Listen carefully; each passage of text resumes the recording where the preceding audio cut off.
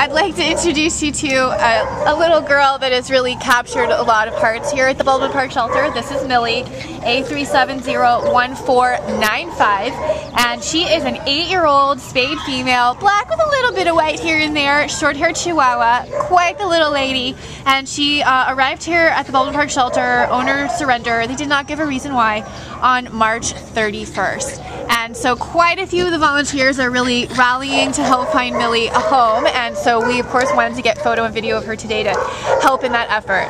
She is a peppy girl, you know, she's what we would call, second dog today we've called an active senior. She's a um, peppy, got a nice spring in her step, loves to walk, loves to explore, walks really quite well on a leash.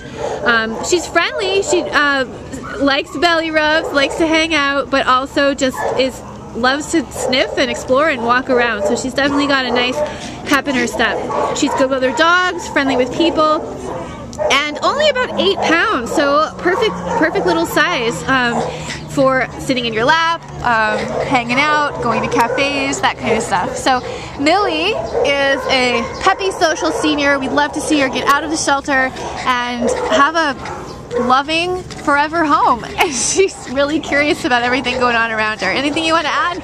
She's a great little dog. I mean, she's very active for a senior. I mean, she loves to go for a walk. I mean, she's she's not really a couch potato, although you know, right now you can. You uh, the belly rubs. She just loves those might, belly rubs. Yeah, you it's might so be able cute. to get her to, to, lie down again so you can belly But she does love to walk as well. She's a great little guy, Ab little girl. So. Absolutely. So please come meet Hilly. Hilly. Please come Millie here at the Baldwin Park Shelter. And, uh, you know, she's so good natured. If you call her Hilly, she's not going to mind that either.